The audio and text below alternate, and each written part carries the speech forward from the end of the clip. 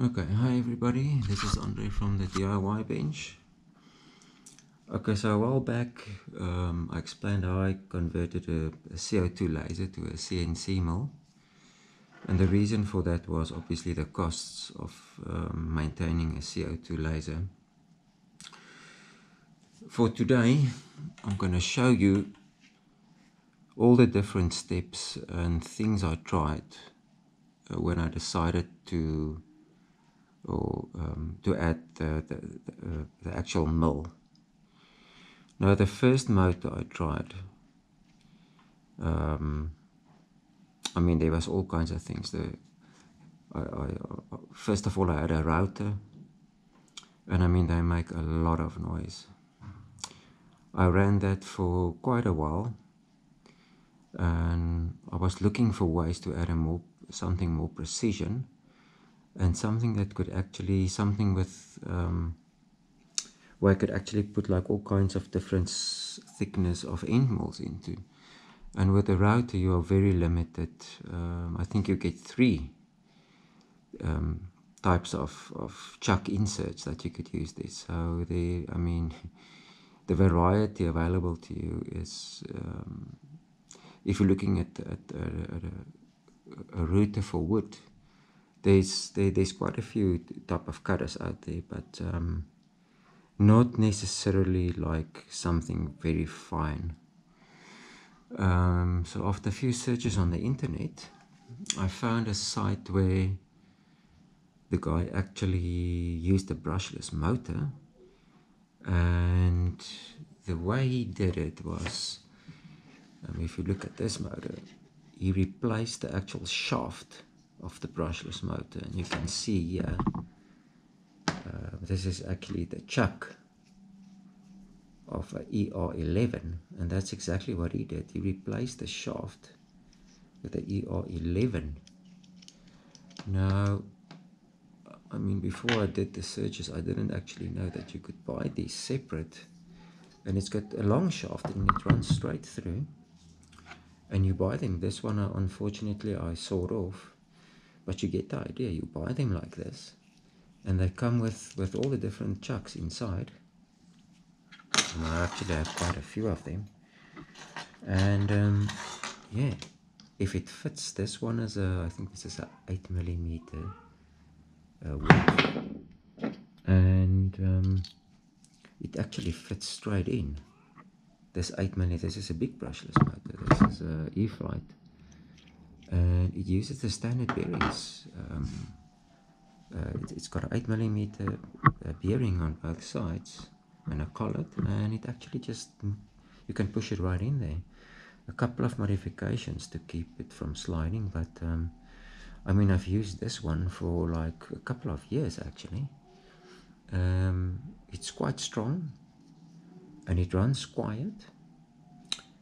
And when you're going this way, um, in my case I use the OS speed controller and because I'm in the radio control I fly models for, for, for as a hobby. Uh, I mean I immediately knew what to do and I mean that connects to the motor. This side I had this battery connector and this the laser in, in, in the electronics uh, 36 volt power supply. And I mean this unit can run from anywhere from 11 to I think up to 48 volts. So there's plenty of, space left. And in radio control if you don't have a radio and in this case you don't want a radio in this kind of setup you just use a thing like this and you can set the speed. This is basically a servo tester but um, you can also use it to control the speed controller and as you turn it the motor goes up and it goes down in speed. So the setup I had uh, before I would start the machine for the cutter which is just my motor speed to what I thought is, is would be appropriate and I would start it. So as you see here this is the setup now this is the initial setup I had And the the problem I had with this kind of setup is uh, you you're limited to the end mills you can put in. I think you can go up to a seven millimeter end mill, and, and that's it.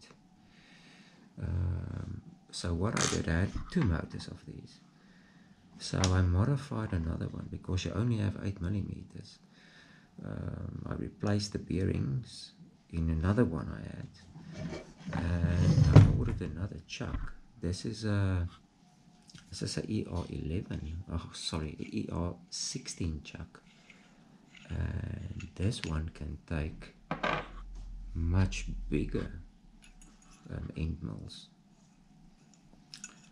and so now um, I could go from 7 um, I'm not sure to what but um, that's all I needed. I didn't want to go wanted to go bigger. Um, so you can buy this separately and if you can get a motor that will accept a 10 millimeter thickness shaft this will go straight in there. In my case um, that didn't work so well because the space you have in these motors is not very much. So I ended up with a bearing that was so little that it would just disintegrate after a few cuts because it would get so warm. And eventually um, I abandoned all of that and I bought myself CNC spindle motor 1.5 kilowatts which was air cooled. And I must say it's got just so much power it runs quieter than the brushless motor. And it was not a it was not cheap um, with the uh, VNC module and the motor together. I paid about 11,000 South African rands but um, it was the best upgrade for this machine I ever did. So if you've got the money I would say install this directly. If not then this is some cheaper option to go with. And wait till you can do an upgrade. Thank you guys. Cheers